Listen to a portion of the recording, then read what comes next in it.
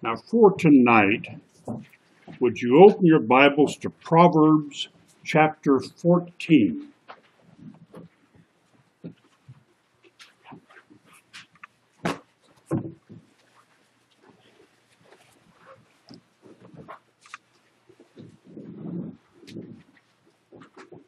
And verse 26. In the fear of the Lord is strong confidence, and his children shall have a place of refuge. Well, turn to Numbers chapter 35. Genesis, Exodus, Leviticus, Numbers, book number 4, and chapter 35.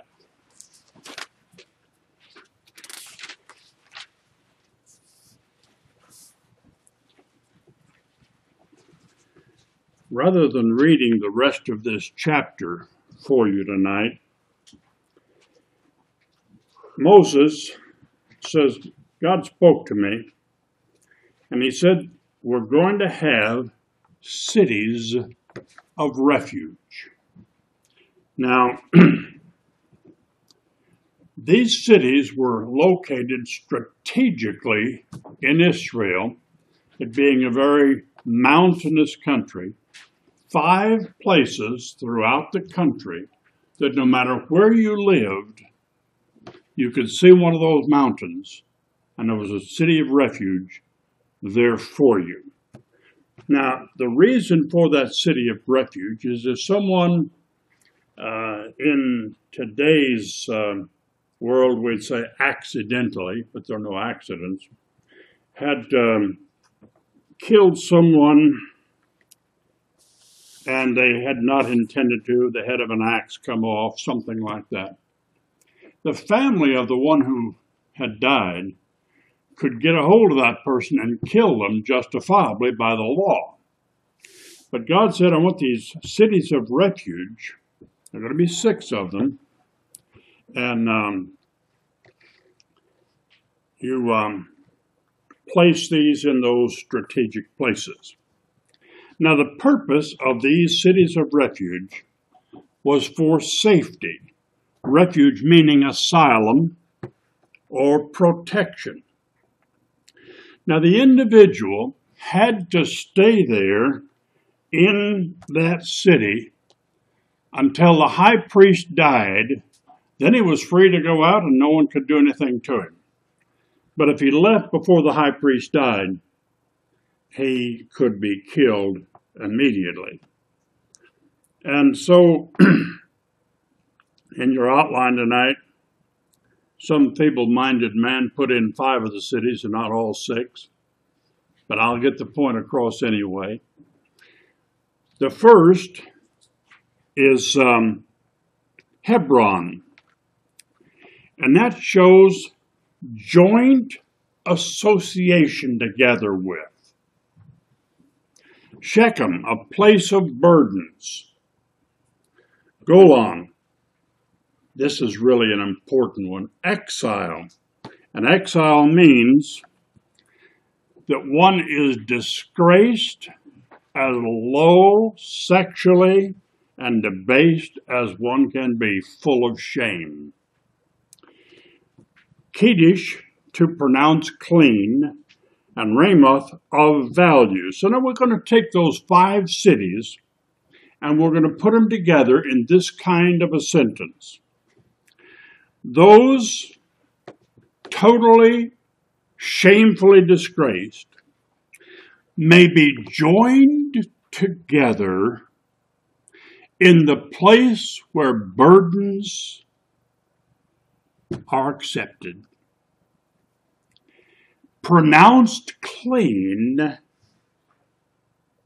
and they're of value. Remember what he said in Colossians 1? Uh, holy, unblameable, and unreprovable in his sight. Totally of value in the eyes of the Lord. And so the individual who has been elected from God from before eternity, and I've discussed that several times recently in messages, has this hope before them that um, let me hide. Turn to Psalm 130. Let me hide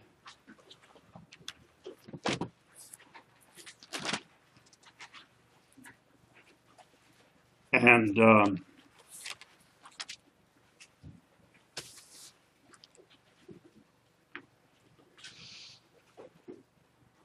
let me just see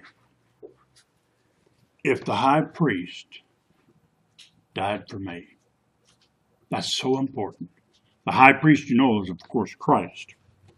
So in verse 5, he says, I wait for the Lord. My soul doth wait, and in his word do I hope. Standing back as we're waiting and hoping for God to reveal, yes, he died for me. I discussed that thoroughly last Sunday, as a matter of fact. Verse 6 My soul waiteth for the Lord more than they that watch for the morning. I say more than they that watch for the morning. Let Israel hope in the Lord. And so we come back to our outline and we pause and think of these cities of refuge that are there for his elect. And um, we run and hide in the death of the high priest. Then we're totally set free. Romans 7, rather uh, 6 verse 7, I believe it is, he says, He that is dead is, in, is free indeed. And Christ, our high priest, has died.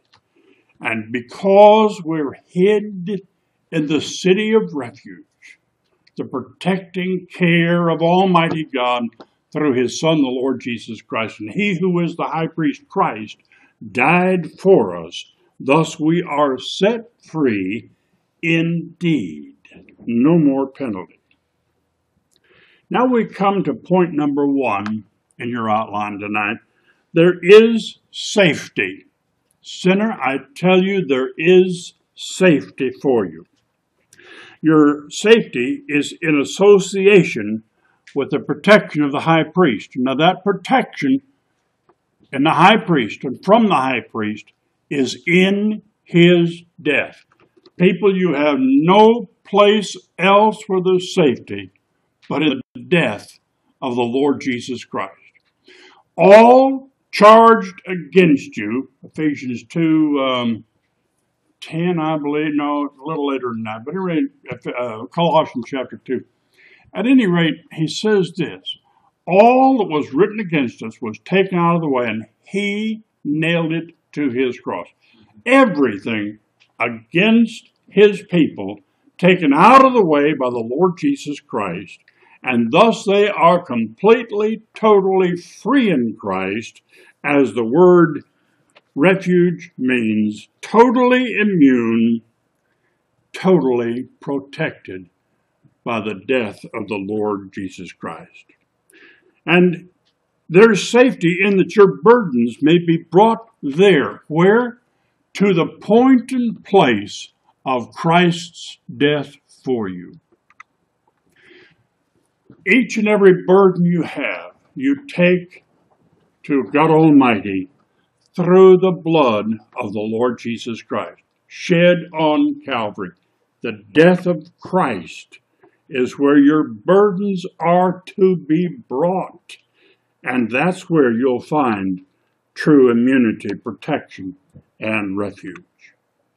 Though you are, and I know that if I asked each one to fill out a piece of paper, there wouldn't be anyone here say that they were the scum of the earth from a sexual misbehaving way.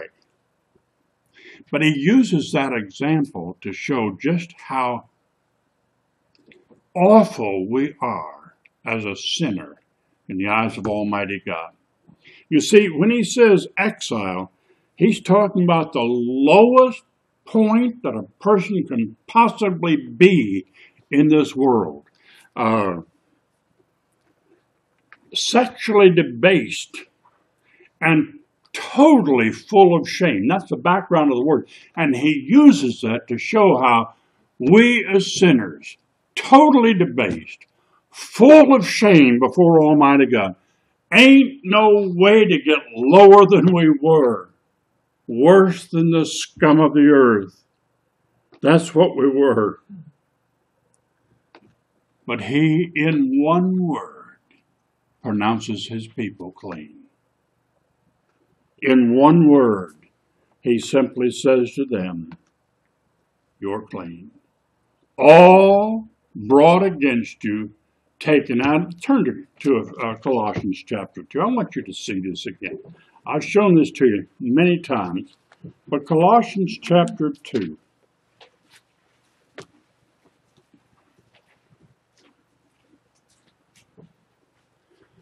And I want to begin reading in verse 13. You being dead in your sins, that's the, um, uh, that's the exile part. Dead in your sins, the uncircumcision of flesh, hath he quickened together with you, having with him, having forgiven you all trespasses.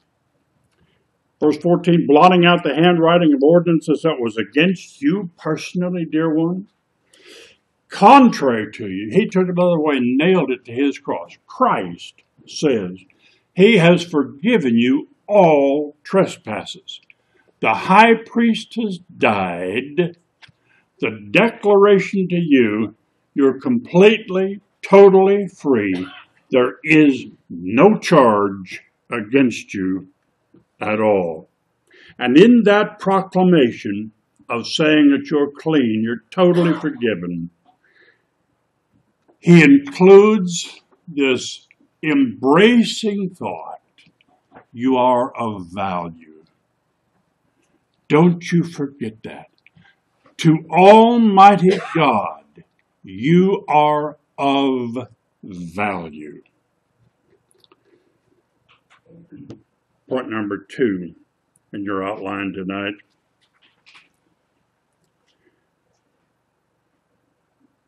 For there to be safety, there must be the death of the high priest. Jesus Christ went to the cross. All, see it in Isaiah 53 and John 19, so many other places. All that was written against us, the Father charged to his Son in our stead brought all of his, yeah, I'm picking these words on purpose, all of the Father's justified holy wrath and hate against us, meted out upon the Lord Jesus Christ on that cross, bringing him to that point where he lays down his life willingly, delightfully, joyfully for his people to satisfy his Father about the elect. In that process, he dies, and in his death is total freedom for everyone for whom he died, because that charged against them was charged to him, paid for, and the Father is satisfied. You can see that in Isaiah 53, verse 11. But you, as a sinner, if you've never come to an awareness of Christ.